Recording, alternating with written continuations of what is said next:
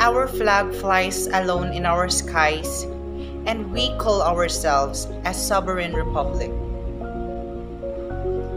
Since we've celebrated Independence Day last Saturday, June 12, 2021, the line or verse in the essay that I was chosen is significantly dedicated to us as one nation.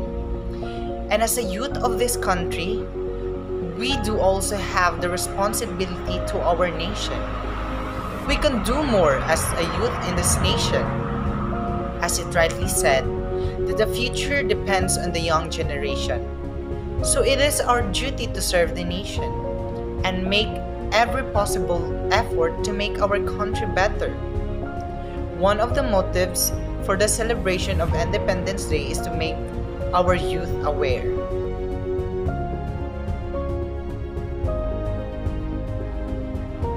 Leon too. Yes. But that boy is a jewel. An African in the rostrum. Remember that trophy he won in forensics? That line was taken in Turn Red the Sea by Wilfredo Di Nolledo. Despite what Leon did to him, his own child, who opposed and takes rebellion, the father never forgets to remember his son. This simply means that our father may be busy in work all the time, but they never forgets us.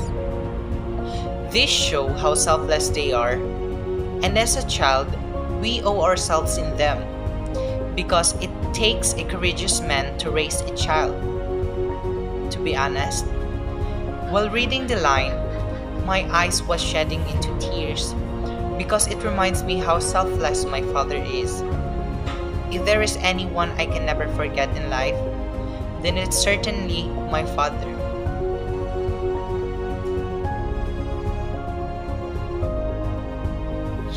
Her cries betrayed not only anguish, but fury and frustration as well. And learning of his father's death and seeing and hearing her mother, thus Victor, eight year old Victor cowered in the shadows. How does it feel to grow without the presence of a father? We know that the children who grow up with the absence of father can suffer lasting damage.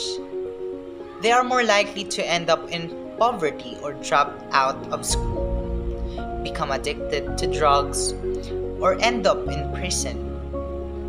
It is pitiful to know that at the young age of Victor, hearing the news from his mother about his deceased father is very hard.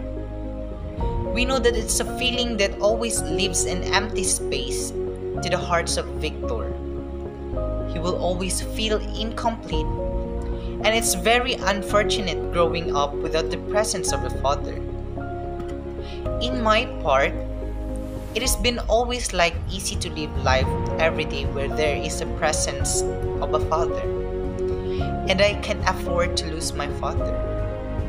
I cannot picture up a wonderful life without my father, and it's very hard for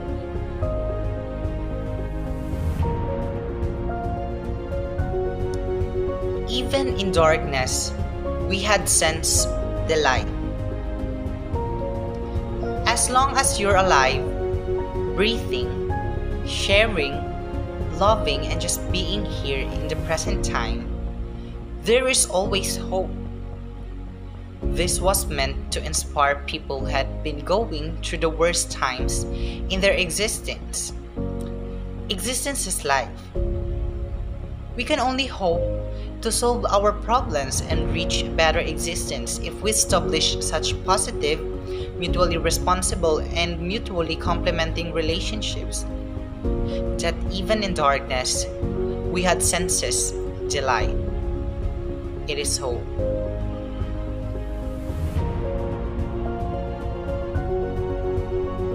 Let us give thanks to the Lord. Let our song rise like the fragrance of wild thyme. Above all, we must thank our Lord God for everything. This line verse catches my attention because I believe we should thank God as He is always with us. God carries our burden and always help us when we are in need. When we lose our focus on God and thanking God, it distorts us spiritually in our minds and hearts. That's why we need to give thanks because it is for our own well being.